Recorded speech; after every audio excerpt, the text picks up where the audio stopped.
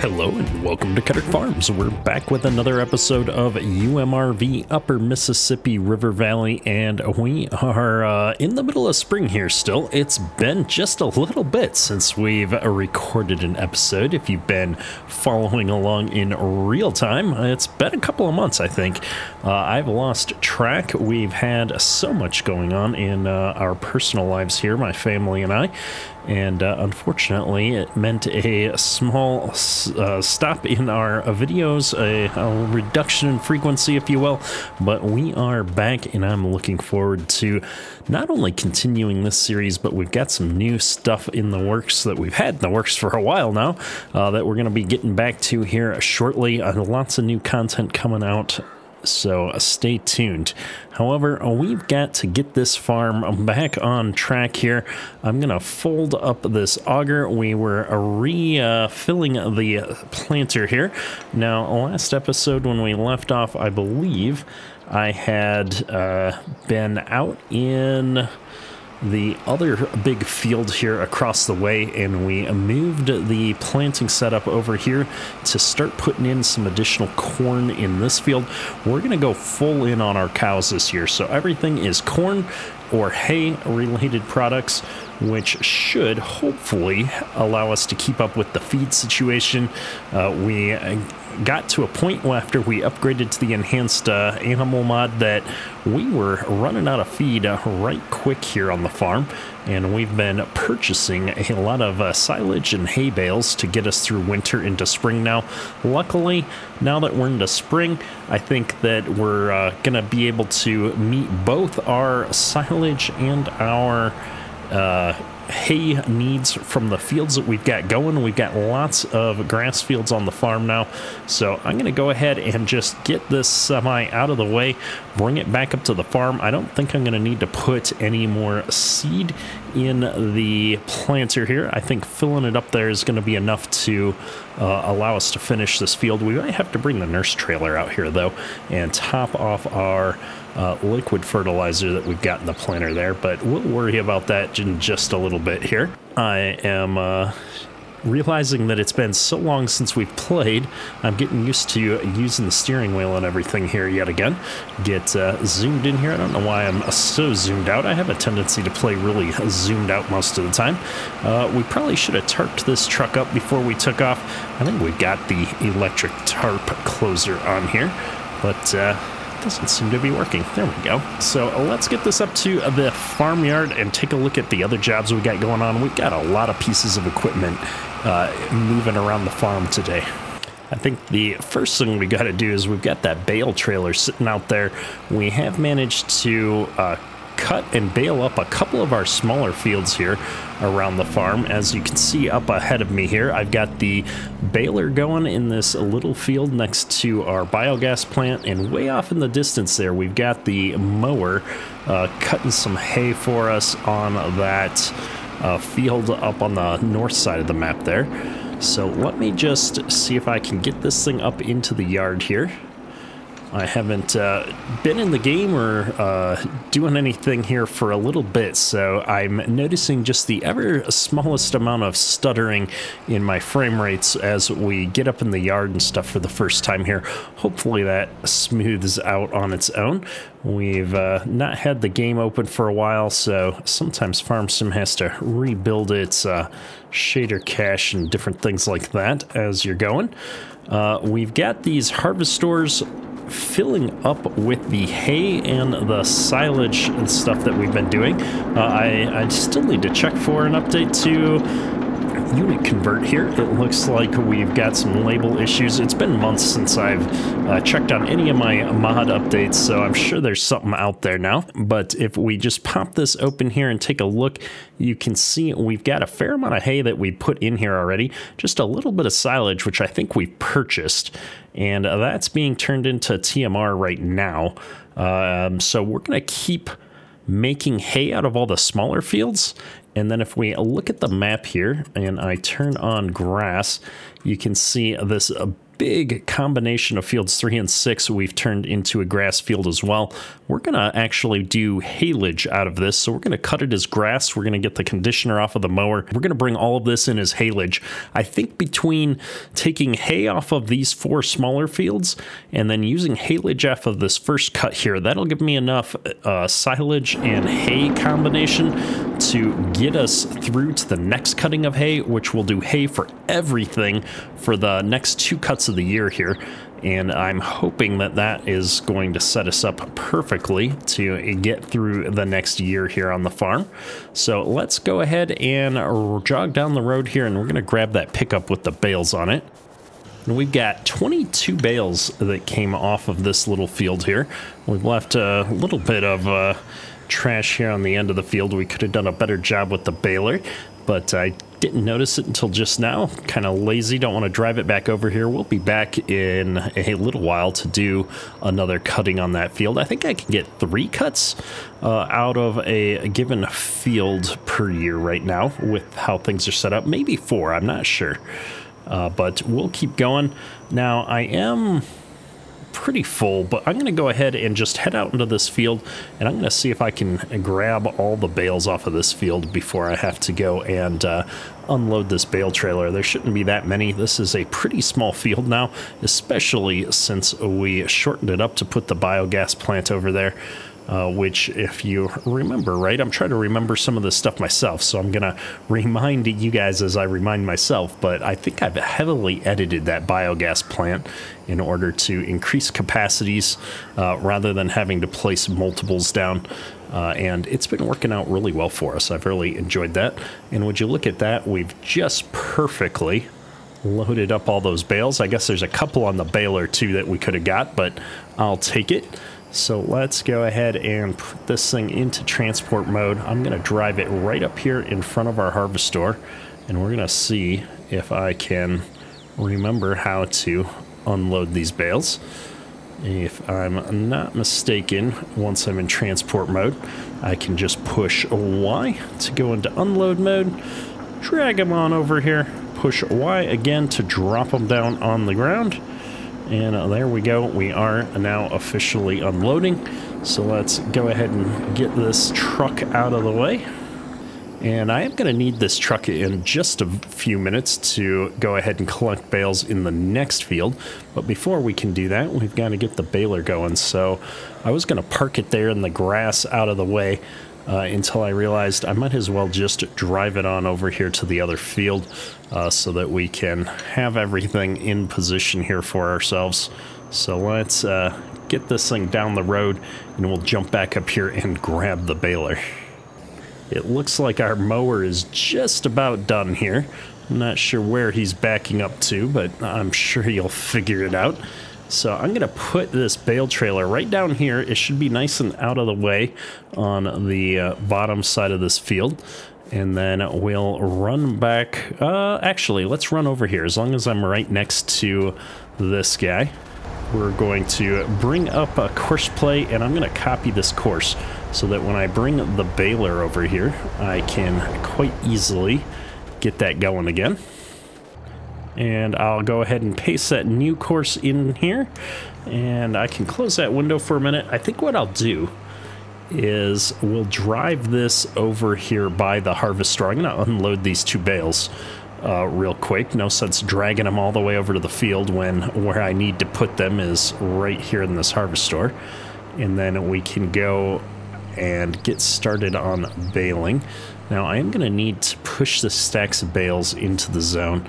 I almost hate doing it this way, but I'm going to use super strength anyway. I might as well just uh, give them a little bit of a nudge here with the tractor. There we go. And uh, we'll pull forward just a smidge here and get both of those unloaded. Hopefully, they're in the zone. And then we'll drag this uh, piece of equipment over to the other field here and we'll get it going.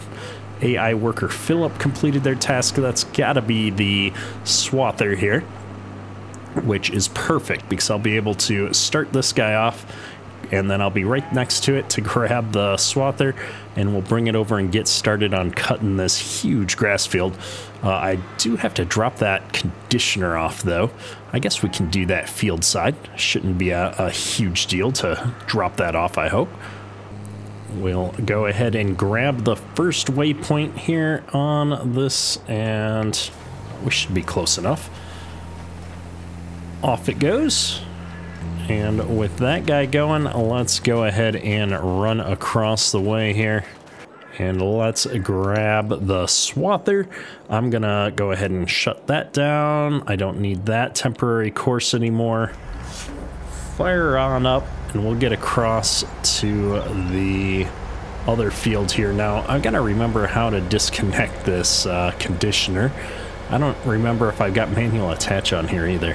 That might be a, a small consideration. If I remember right, I had some problems getting this thing taken apart last time with manual attach. I can always disable it, I suppose. Um, I'm gonna guess that it's the front most connection. I can't really recall. Here we go. Uh, must lower the implement first. Okay, lowering, disconnecting. Yes, we have disconnected. Now I'm going to raise this up and try and just back out of here. No, maybe I can drive over it. There we go. Okay. Now I've mucked this thing all up by moving it around and such. I'm going to move it out of the way a little bit here. I'm going to put it in this grass where I'm sure to lose track of it. There's some arrows on it somewhere I thought that indicate which direction it needs to go for uh, installing it. Now I'm not seeing those right now. We'll figure that out next time when we need to put it back. I'm sure that it uh, won't be a problem. If I say it confidently, I'm not sure that makes it true, but we'll hope. Uh, let's create a job and I need a field position. I'm going to set it right down here. Generate. Look at the size of that course. Oh my goodness. This is a giant field. And uh, I feel like my frame rate just took a drop when we loaded up this giant course in Courseplay. Hopefully that's not going to be a thing and it'll uh, sort itself out here momentarily. Um, first waypoint. Let's see here. Looking good. And that is indeed grass. All right. That's exactly what we want because now we'll be able to take that and turn it into haylage and let's just jump back over here. I wanted to check on our planting situation again since it's been just a little bit since we got started on that. It looks good. We're knocking out the acres. We're going to run out of that liquid fertilizer here pretty soon though. So I think what we're going to do is go ahead and jump back over to the pickup. And my plan is to go get that uh, nurse trailer we've got over on the farm and take that and see if we can pick up a little bit of liquid fertilizer and get this thing uh, refilled out in the field, the planter that is. Um, I'm sure that trailer is going to be just fine there on that steep incline like that. I'm not nervous at all that it'll just slide down the hill into the lake here. That would be a total disaster. And I have to remember where on the farm I left that nurse trailer. I think it's over here in this uh, shed over here. I think this is kind of turned into my uh, chemical products and stuff uh, storage area. There we are, right where I left it. I hope it's got some liquid fertilizer in it. If it doesn't, we may have to uh, purchase some, have it delivered up here to the farm. All right, we're all hooked up, but there is no liquid fertilizer in this thing, unfortunately. So let me, whoa, crash into everything. So let me take this on out of here, and I wanted to just run over to the other shed and see what we've got left over there because I think I might have some liquid fertilizer in the sprayer because we've been using the sprayer to fertilize our grass uh, from time to time. Although, in looking back, I could probably be using the manure to do that. But I do have some in there, so let's go ahead. I pushed I. Uh, I was expecting that to drop a chest of uh, stuff out here. A chest, a crate, a pallet. There it is. We have a uh, partial pallet of liquid fertilizer here that we can toss into the trailer. Now this trailer, if I'm not mistaken, has to be filled on this side. There we go. 4%. That's nothing. Uh, let's go ahead and grab some money. We haven't looked at our money situation yet in this episode. As you can see, we're at uh, $665,000 in debt. We're going to crank that up a little bit here. We'll go all the way up to 700 just to give me some operating uh, cash for the episode. And let's go ahead and grab some liquid fertilizer. I'm to need, I think, at least two of these. We're to buy two of these. And of course, our uh, sell point is over here in front of the harvest store. Oh my goodness. And of course, our sell point is over here in front of the harvest store because we were purchasing bales and it was convenient for us to have them uh, show up right here. That's all right. We can drive over here to fill up the tank just as easily. And we'll start the next one. While that's going, I might as well hop out and move these bales up here. Perfect. All right, well, let's get going out to this field. I'm almost positive that that message I saw just a moment ago was our planter getting stopped off uh, because it finally ran out of fertilizer.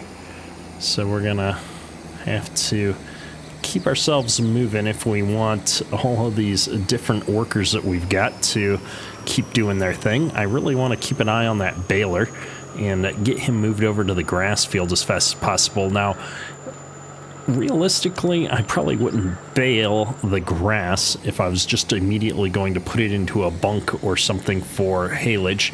However, it's the easiest way I've got to move the material off of the field right now. And that tractor's not doing anything else for us at the moment anyway. And it'd be a little bit more of a hassle to get the chopper set up to uh, handle uh, picking up the grass and throwing it into one of the trailers right now, I think. So I do think I am going to bale it uh, for purposes of moving it into the harvest stores. I think that's going to be my easiest option.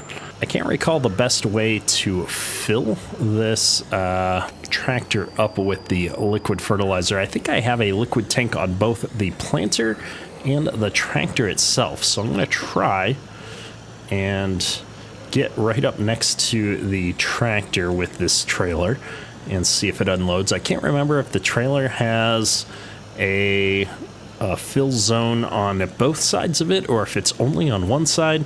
I don't know. We're going to figure this out. We're going to park that there. I'm going to leave it running though, because I do think I need to leave it running. And we're going to hop over here and I'm going to push, I'm going to turn it on and then we're going to push R to reload. No, maybe? No, I think I've got to like turn this trailer on or something. Let me see. Uh, loading filter full only. Unloading side right. Okay, can I do unloading side left? Start pump. B. Alright, that's started. Now I think I need to jump into the 8RX and... Oops. Uh, with the front selected, I'm gonna go all the way up here and see if I get a thing for filling the back tanks. No? Let's hop out and jump back into the truck here. Uh, let me see. Unloading side. Maybe I had it on the wrong or the right side. Well, I've switched sides. Now let's get over here and see if I get a refill. No? Let's try the other side real quick. All right, well here I've got the overloading for liquid fertilizer. So I'm gonna go ahead and take that. It is an overload from this trailer. I can never remember how this works. I really like that it's uh, triggered from the trailer itself. a little bit more realistic that way. Uh, but it always confuses me when I haven't used a mod for a while like this. Uh, let's see if I can go ahead and pull over here. I'm just, I was hoping that I could also put some into that trailer, or into the trailer, into the planter directly, but I'm not seeing any option when I drive by that. Oops, we bumped the track there a little bit. So I guess we're going to call that good enough and get this pickup out of the way so that I can get the planter set up. So I'm going to turn off that annoying motor. There we go. And let's jump back up into here.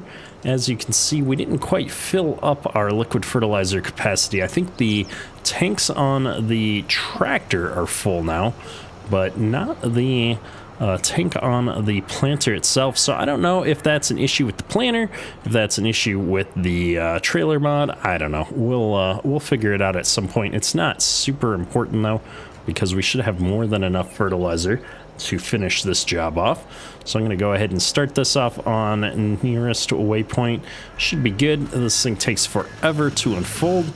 So we'll jump back in the truck here and get this brought back up to the farm. I'm not sure if we're gonna need this for something else right now or if I'm gonna empty it out. I don't know what the plan is. So I'm gonna leave it out in the yard because that always makes sense. And I just want to get right back out to the field with the um, trailer and the bales and get this hooked back up before I forget what we're supposed to be doing with it.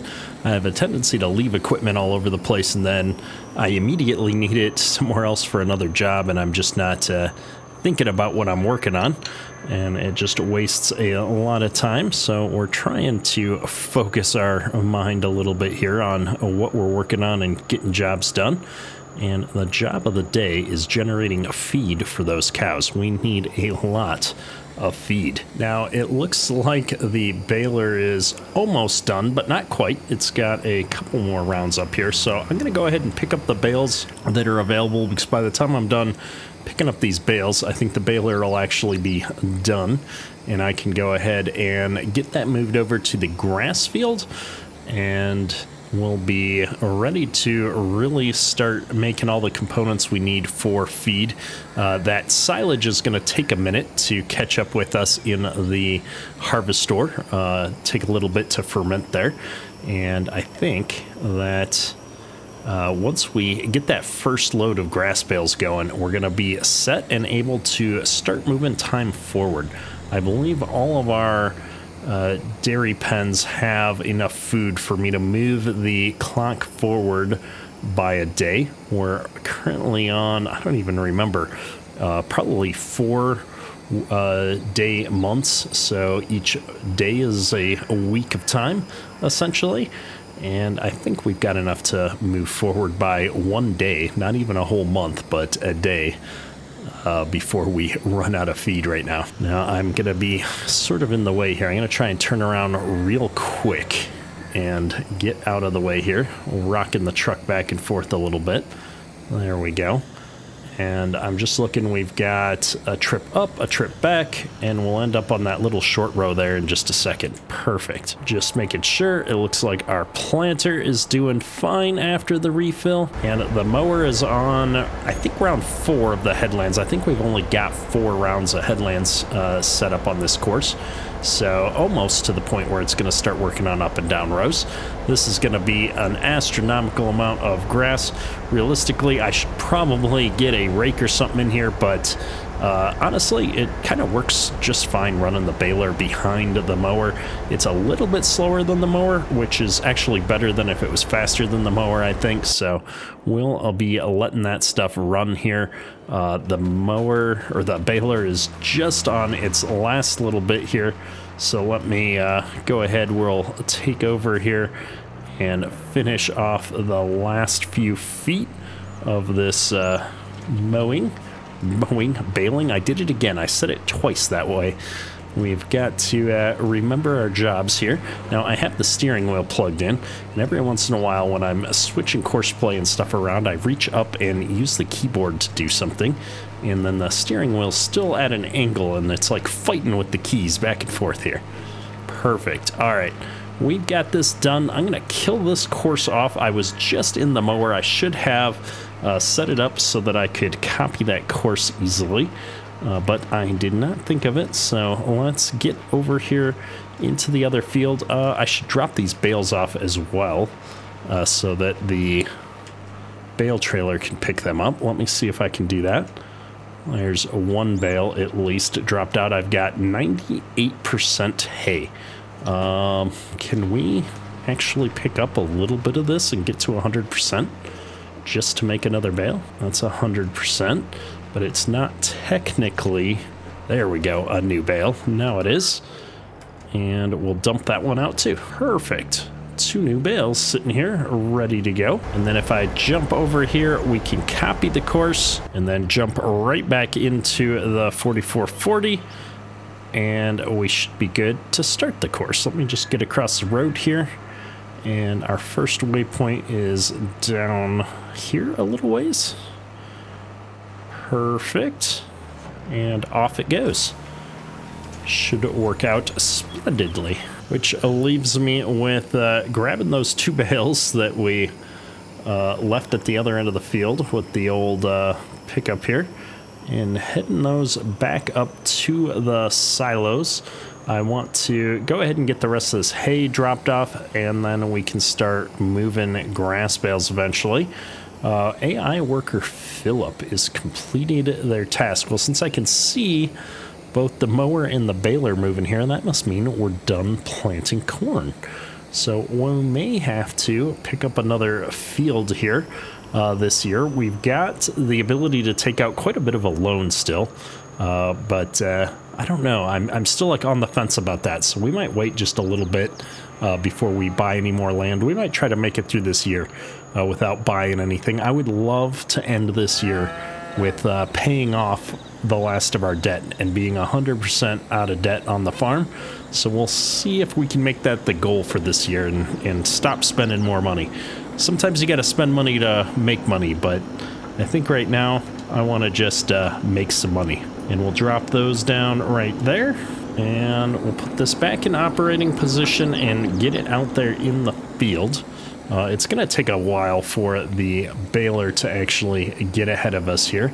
So I think what we'll do, we'll put this out in the field and then we'll check in on our animals. We'll make a batch of feed and figure out which uh, which barn needs feed the most right now. We'll get this thing filling up. I don't know if I've got enough to uh, make a full batch take a quick look here. It looks like we still we're still making some. We still got a little silage and a bunch of hay in here now, which is great. If we take a look at the animals, this would be I can't even remember barn A maybe, uh, which has got enough for one day. Man, I can't believe we need almost 10 million liters of food a year. And then in uh, this barn, which I think is barn C, B? I think this is the small barn right next to us. I can't remember. We've got 70,000 and 143 for a day. So this one's got almost two days, not quite. This one's got more than a day. And this one is almost at exactly a day. So 233. Let's figure out if we can uh, remember which one of these is which. So I got to start this thing up, and we didn't quite get a full mix of TMR here in this tractor. Oh, and that's right, we're using the new tractor that came out with the Platinum uh, edition here, or whatever the, the newest edition of Farm Sim is. Uh, they released these as, I think, a DLC. I think you had to pay a couple bucks to get these. Farm Sim was kind enough to send me a code for them, though. And uh, we're going to go ahead and jump into, this is barn A and see if this is the one that's got 233,000 uh, liters of feed. The easiest way to see that, I guess, is to start feeding and see if this number is going up at all. It doesn't appear to be. This number is going up, so that's all right. We'll uh, just put it in here since we're here. And now we know uh, this middle one is barn A, which would make this barn B.